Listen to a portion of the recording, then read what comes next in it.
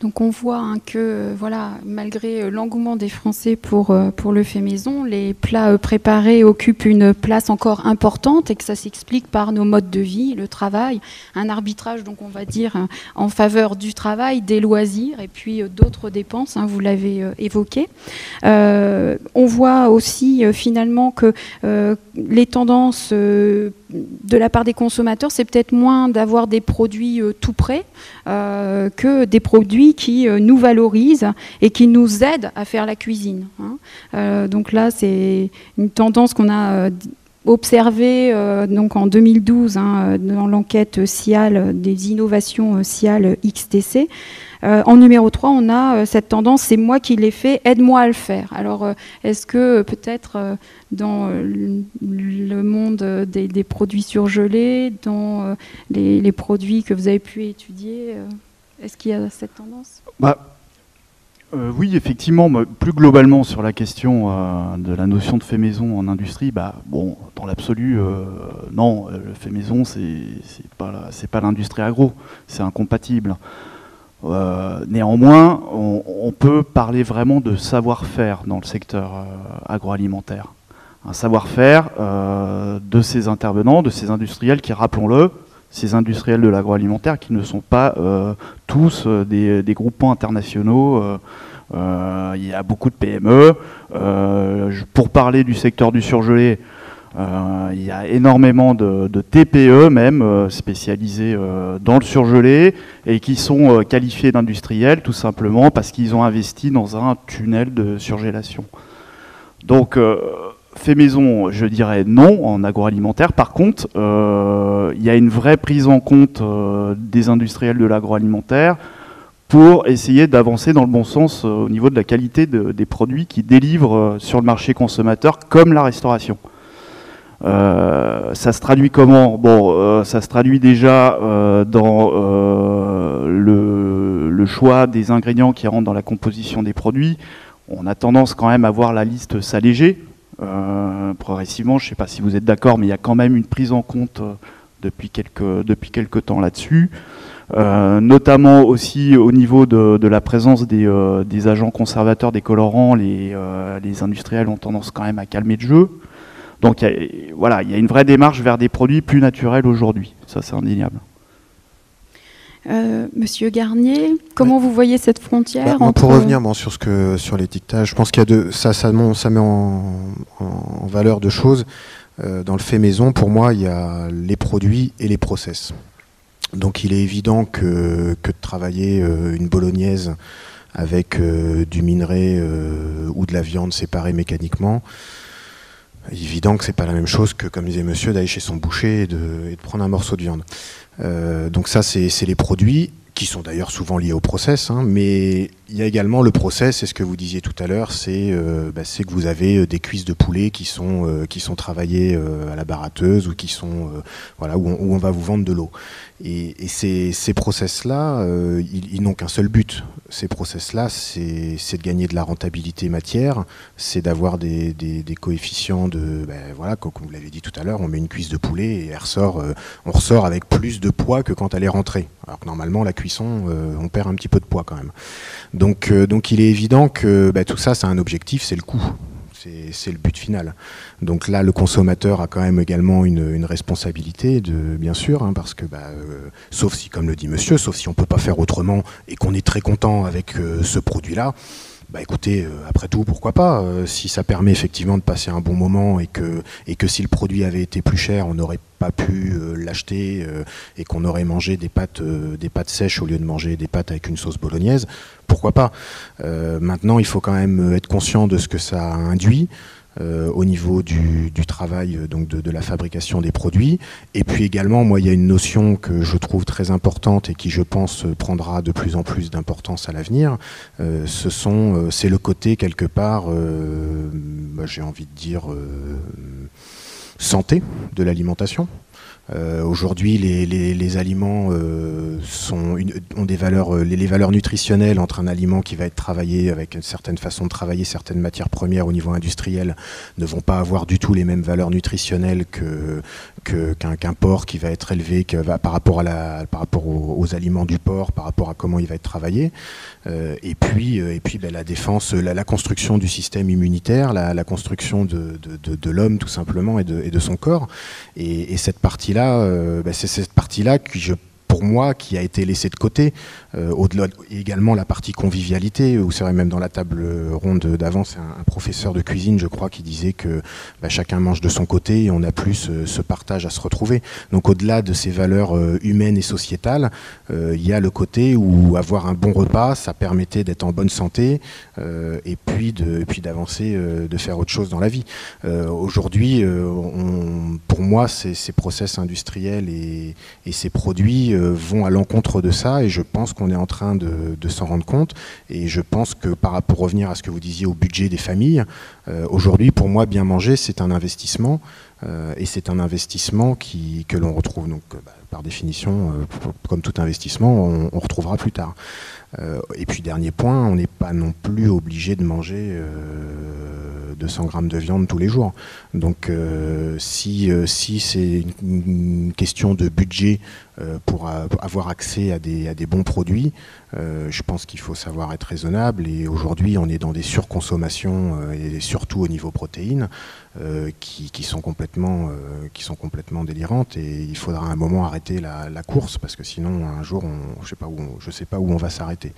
Donc, voilà, donc pour moi, vraiment, il y a deux choses dans ce fait maison ou pas. Il y a les produits de base qui ont été utilisés. Donc effectivement, quand on est sur une viande séparée mécaniquement, pour moi, on ne pourra jamais de toute façon revendiquer un fait maison. Et puis il y a les process de fabrication qui sont, euh, bah, qui sont euh, destinés à gagner en rendement, euh, à gagner, à avoir une meilleure rentabilité tout simplement. et ces deux choses font pour moi la distinction entre un fait maison ou pas. maintenant, on le voit bien sur l'étiquette de la bolognaise.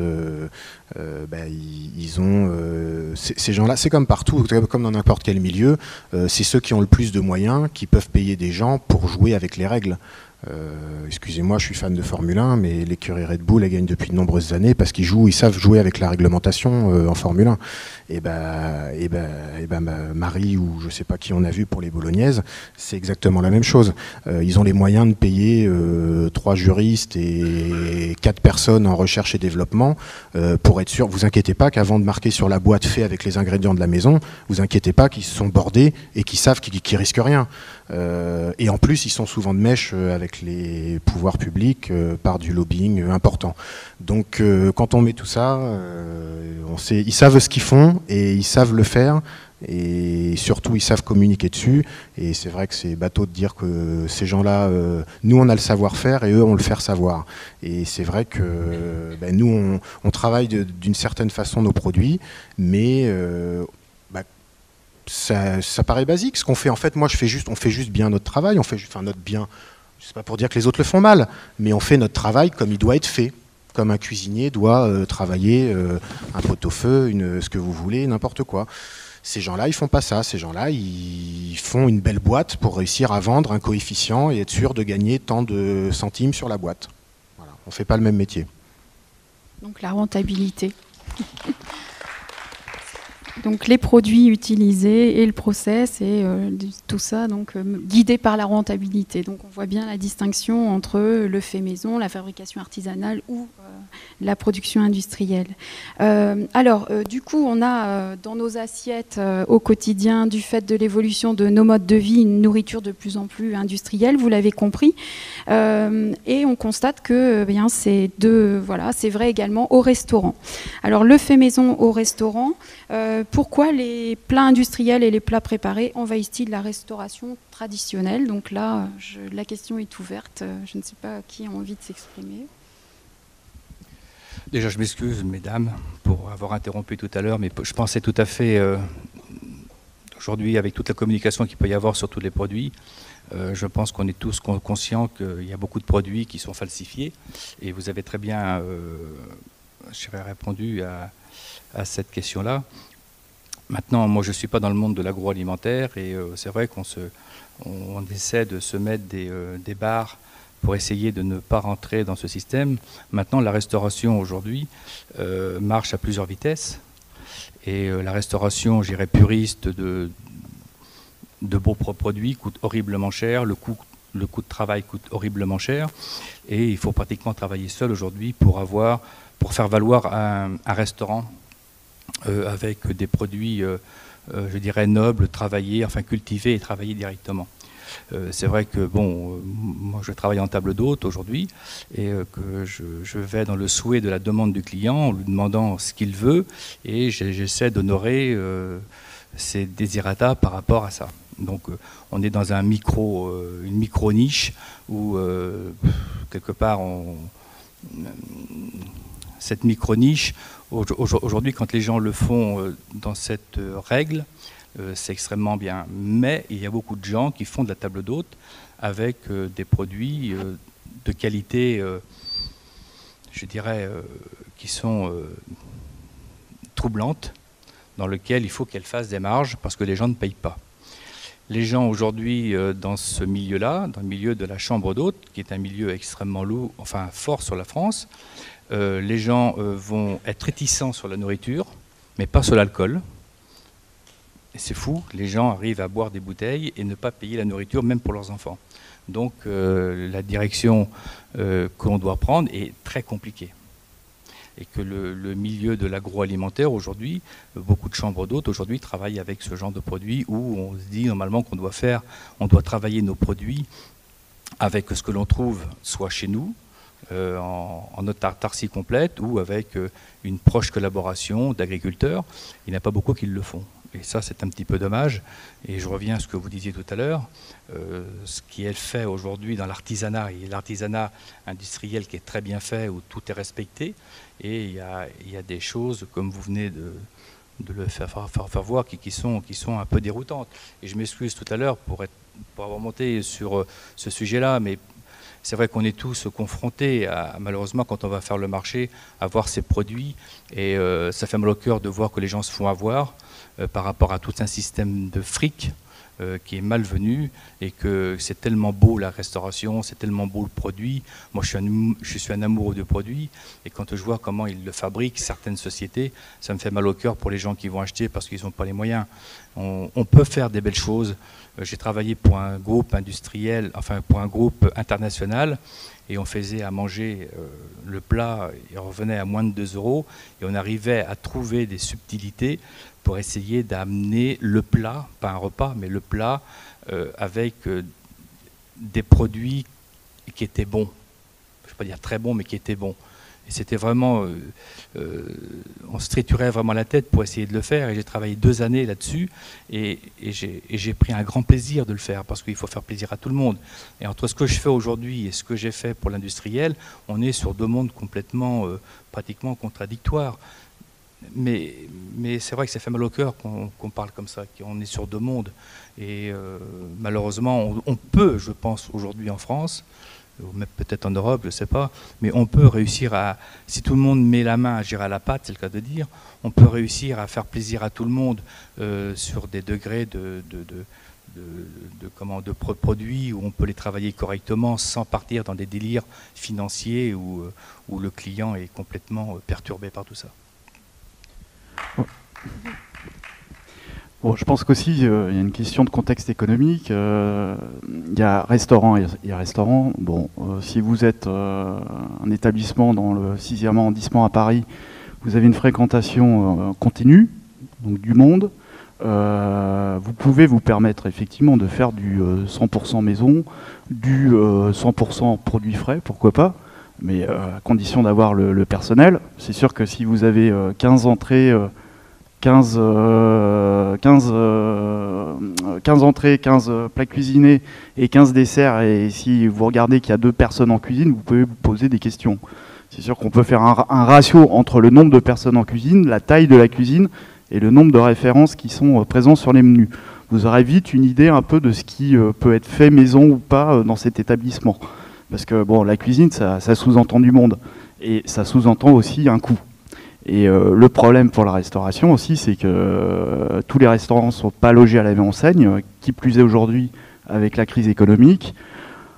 c'est très compliqué euh, quand on est restaurateur dans une petite ville de province, d'assurer du 100% fait maison aujourd'hui. Pourquoi? Parce que vous n'avez pas de visibilité sur le nombre de, de, tables que vous allez faire le soir.